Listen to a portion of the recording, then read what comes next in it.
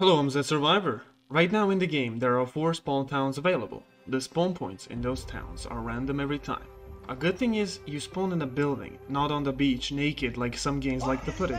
In this video, we will go in depth through every town and rank every category about it. These categories will be overall zombie count, high tier loot, spawn points, amounts of good base locations, and early game grind potential.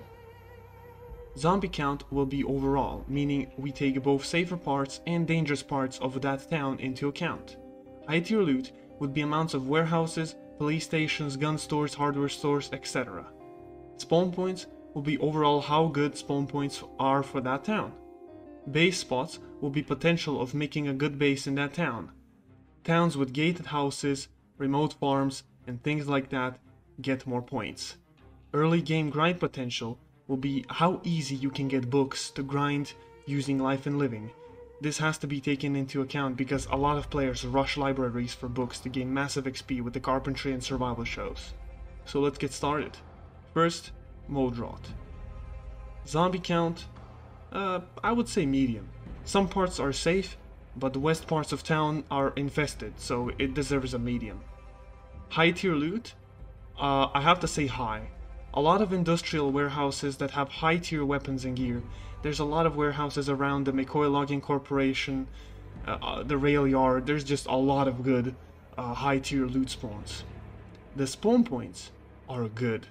Most are good. You usually spawn in safer parts of town. In the gated community, there are like four spawns. You also spawn in the remote locations of the town, like gated houses, and it doesn't have a lot of zombies, so it does deserve the good tier of spawn points. The base spots are also good. There are a lot of gated parts of town, farms, and a few isolated houses. There's also a lot of uh, cabins around Muldraugh and warehouses, and it's just a lot of good base spots. Early game grind potential is low. I have to say low, because libraries and schools are far and infested. Only books you can get is mass looting houses for them. Next, Rosewood. Zombie count is low. Rosewood has zombie count that is actually pretty low everywhere. Bigger hordes form later in the game, but when you start you won't be seeing that many zombies around. High tier loot is low. The only high tier loot loot buildings are the police station and the fire station. No warehouses at all. The only ones are farm warehouses that spawn food.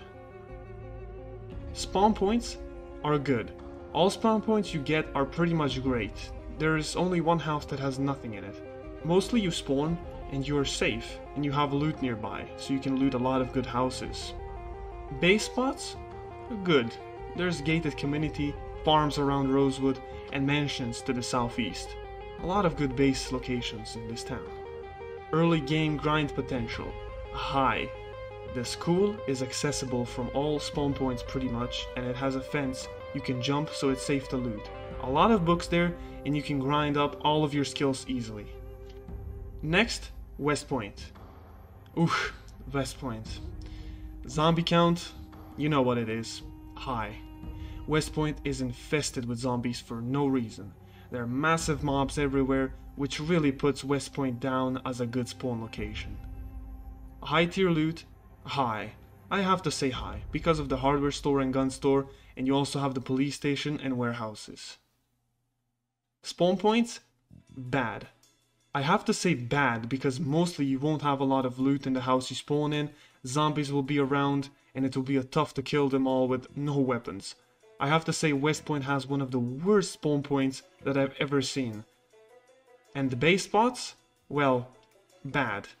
Gated community is not really that gated, so it's not safe. All houses are pretty much surrounded by zombies, meaning they would respawn later. Only good base location is west of town, in the safer areas and near the lake. Early game grind potential, medium. You do have the school in the west part, you can get books and grind up your, your skills using life and living, but it's just that the town is full of zombies, so you will have to deal with them to get to the school. Riverside. Ah yes, favorite of a lot of players. Uh, the zombie count is low, Riverside doesn't have overall big zombie count. It's possible to survive. High tier loot? Medium. I would have to say medium, because there's the hardware store in downtown and the warehouses at the trailer park. But that's about it. Police station has only like 3 gun lockers, and other than that, um, not much high tier loot. Spawn points? Well, bad. I have to say bad, because overall you will mostly spawn in the poor parts of town or trailer park.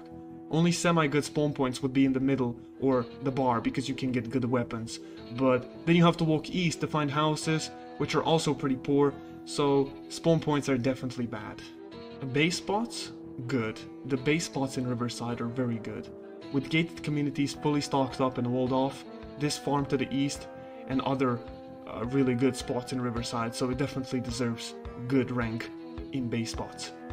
Uh, early game grind potential is medium. I have to say medium because with bad spawn points, you won't be able to access the school so quickly, giving it a medium rank. With this ranking, I have to say I would put Riverside at the top.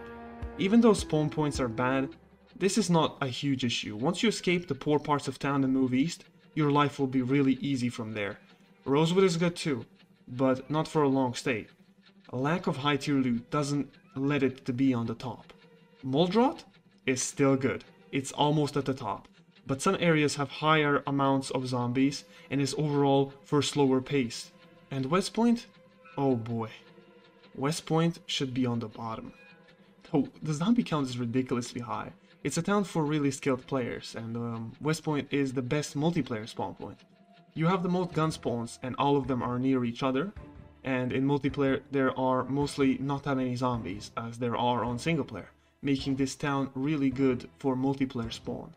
But if we're on the topic of single player and co-op, Riverside is on the top for now. And now it's time for the tip of the video. You don't actually need a sledgehammer to get in the armory on the police station. You can just bait a few zombies inside and kill them there's a chance of them dropping a key, and then you can use the key to get in the armory. Thank you guys for watching, hope you enjoyed and learned something new. I will see you all in my next video.